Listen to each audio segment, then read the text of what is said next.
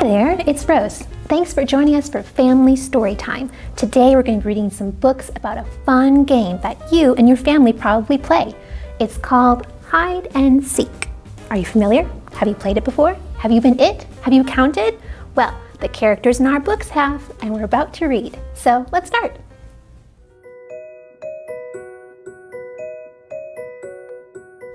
And here's our first story. Every bunny count. Look at that. That bunny must be it. Hmm. Fox and bunnies like to play all together every day. Playing hide and seek today. Every bunny count. Okay, count with me now. One, two, three, four, five, six, seven, eight, nine, ten. Let's start. Take your places, everyone. Ready or not, here we come. Look at all those bunnies. Some are wearing some party hats. Oh, they're having fun. But I think they're looking for someone. The search for Fox has just begun. So every bunny, count to one. There's one badger. Hmm. We found some birds. Away they flew. Every bunny, count to two. One bird, two birds. We've spotted something in the tree. Every bunny, count to three. One, two, three. And look, tiny creatures in my paw. Every bunny, count to four. One, two, three, and four. Check the water. In we dive. Every bunny, count to five. One, two, three, four, five. Five ducks. And look, who's hiding under the sticks? Everybody, count to six. One, two, three, four, five, and six. Six bugs. Look, carrots. We're in bunny heaven. Every bunny count to seven. Let's see how many carrots they have. There's one for this one, one, one, one, one. Look at all those carrots. But where's that fox? It's getting late. Every bunny count to eight. One, two, three, four, five, six, seven, eight. Oh, that fox can be found. Now that it's late, there's sleeping bunnies in a line. Every bunny count to nine. One, two, three, four, five, six, seven, eight, and nine. There's nine bunnies. Through a bush, behind some rocks, every bunny look. What are they going to find? Hmm, could it be? It's Fox. There he is, hiding behind a tree. But, oh look, is that another fox? Hmm. Now take a peek inside the den. Every bunny count. To ten. Oh, look, all the little fox. One, two, three, four, five, six, seven, eight, nine, and ten. Ten. Foxes, bunnies, one, two, ten. Look at them all having fun together, dancing. Now, let's play hide and seek again. And look, the foxes are it this time. well, that's a pretty fun story about some of these creatures playing their hide and seek game. I'm so glad that bunnies found the fox in the end. Well, maybe we have some creatures here at the library that like to play hide and seek. Do you often visit our aquarium? Have you seen one little friendly creature that goes up and down and up and down? Well, I think Miss Tara will tell you more about it in the aquarium corner.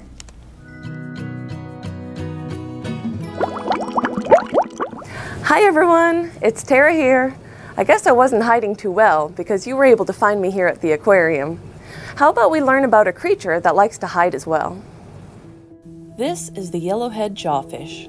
Usually found in the western Atlantic Ocean and the Caribbean, these fish have a pale yellow head and a pearly, light blue body. Some also have small black spots on their chin. In the wild, these fish like to inhabit sand and pebble covered ridges and slopes, preferably near coral reefs.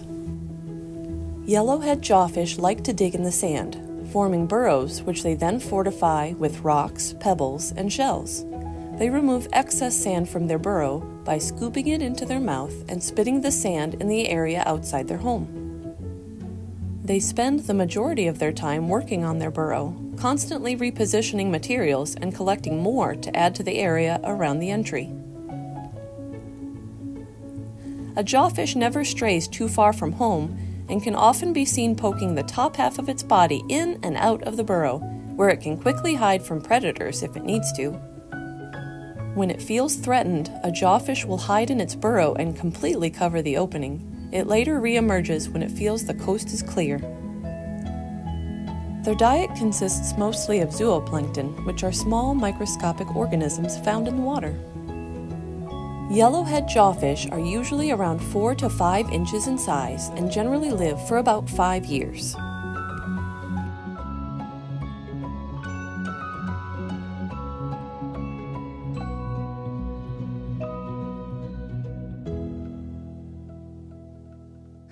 Thanks for visiting me today. Now let's head back to Rose to hear another hide and seek story.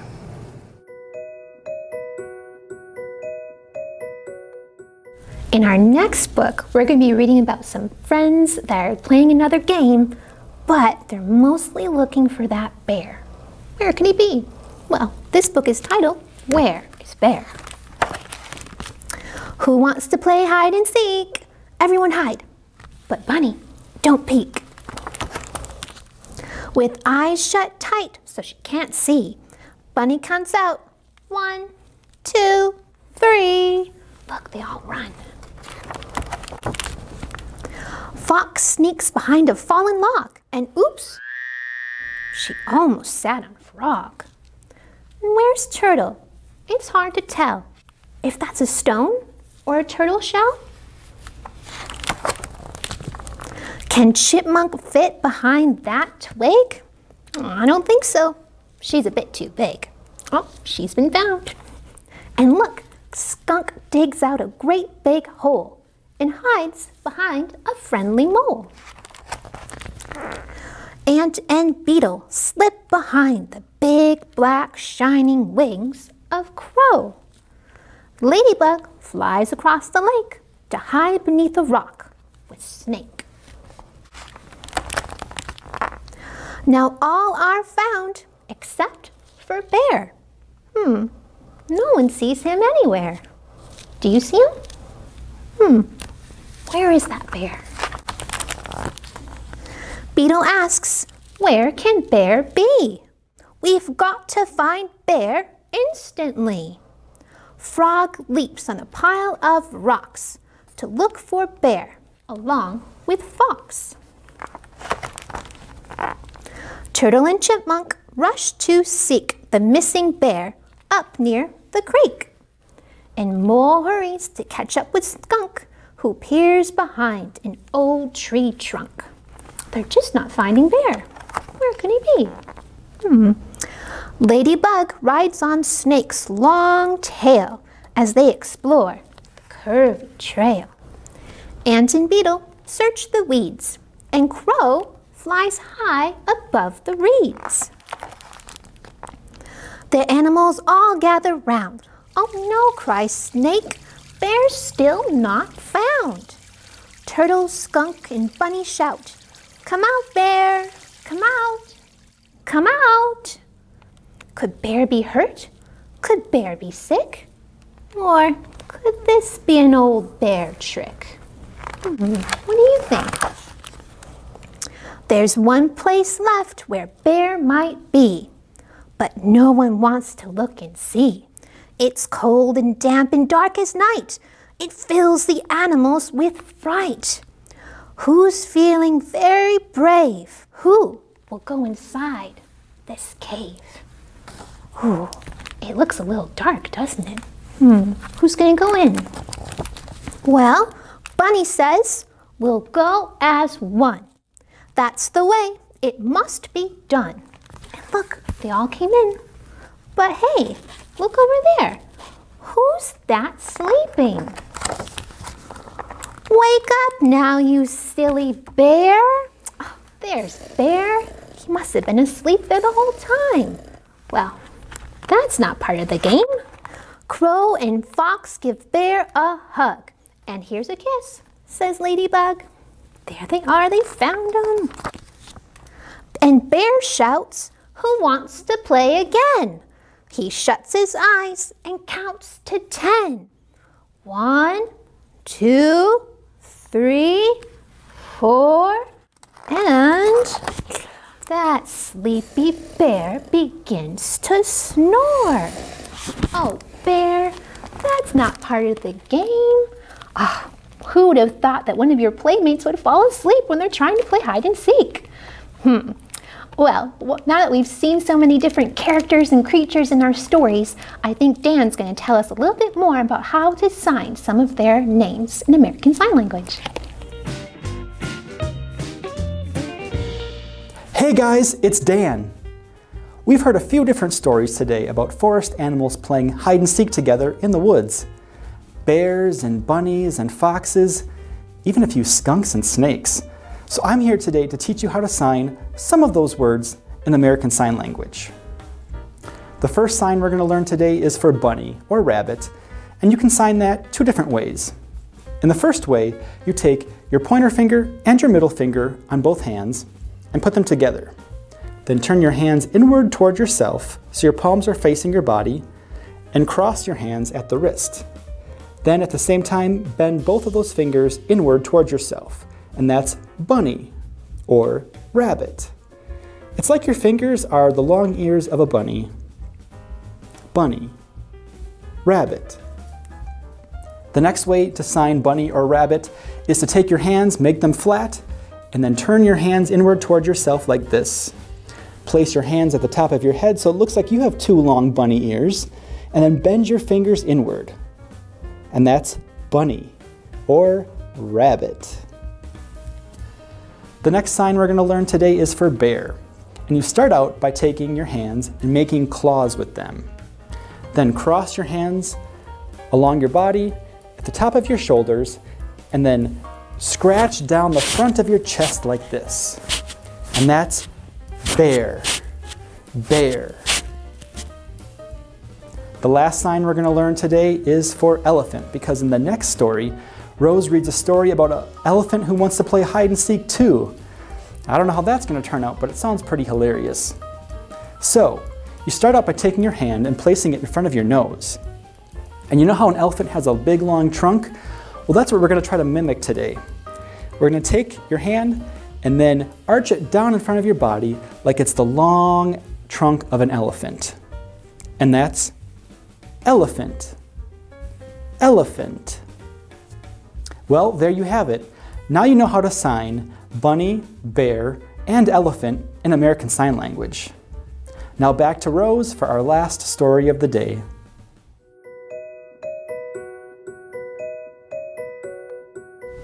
Well, our last story today is about an elephant who plays hide and seek. Do you do you think an elephant is good at hide and seek? Hmm, maybe this one is. Or maybe he needs a few guidelines. Let's see. It's called The Elephant's Guide to Hide and Seek. Look, all the it. The game begins, dear elephant. But let us guess. You are the only pachyderm playing. When your fellow elephants have seen this before. One, two, three, four, five, six, seven, eight, nine. You cannot resist the other players. You live for their little happy faces. You can't bear to disappoint them. Ready or not, here I come. But no matter how much you love your friends and how much you love this game, Found you! Your struggle with this hide and seek remains enormous. Oh, poor elephant. Maybe you can have some guidelines. You are tired of always being the largest one in the room. Found you. You are frustrated with always being the first one found. Found you. You love your friends, but you really, really cannot figure out this game. Found you. Well, despair no more. We at the Elephant Hobby and Sport League are here to help. The Elephant Hobby and Sport League proudly presents the Elephant's Guide to Hide and Seek. Just follow our simple patented guidelines for hiding spaces and you will achieve hide and seek success. So what are you waiting for? Your friends are counting. It's time to get in the game. The guidelines are hiding behind cushions doesn't work for elephants. Instead, find a room where there's lots of furniture and add to the collection. Lumps in the bed are not really elephant shaped, but beds are elephant sized, so take full advantage of your ability to snooze while standing. He's sleeping. Seek out large bathtubs with shower curtains and oversized tables with long linens and unsortly piles of laundry. They'll never see you then. But avoid china cabinets and toy closets littered with wheeled miniature vehicles. Oh, elephant. And most of all, avoid pantries overstocked with peanuts. Crunch, crunch. We elephants are especially loud, crunch, crunch, when it comes to peanuts. Think camouflage. Okay, there's the elephant. Oh, look, there's some glue, and there's some leaves, and there's trees all around. So, why not become a tree? But beware of overdoing it. Run, elephant, run! Only choose spaces that you can easily get out of. The bigger we elephants are, the harder we are to get unstuck. Look, elephant hid in Frito's doghouse. I don't know if these friends can pull him out, but they're working together. Most of all, make use of your trunk's water feature. Ready or not, here I come. Oh, look, she didn't even see him such a good water fountain. And if all else fails, bum, found you. Oh, they found him again. Volunteer to be it. Count. One, two, three, four, five, six, seven, eight, nine. Ready or not, here I come. Oh, look at that when you're it, you can find the kids. Because, dear elephant, you love those kids. And if hiding isn't your thing, found you. Maybe it's not so bad to be found. Oh, look, they're all together at the end. And the elephant was able to be it and find them and all come together. Well, that's the end of the elephant's guide to hide and seek. Well, I hope you enjoyed our stories today and that you're able to play some hide and seek with friends. Maybe you'll be it, maybe you'll be hiding, but anyways, you'll have some fun. Until next time, see you then.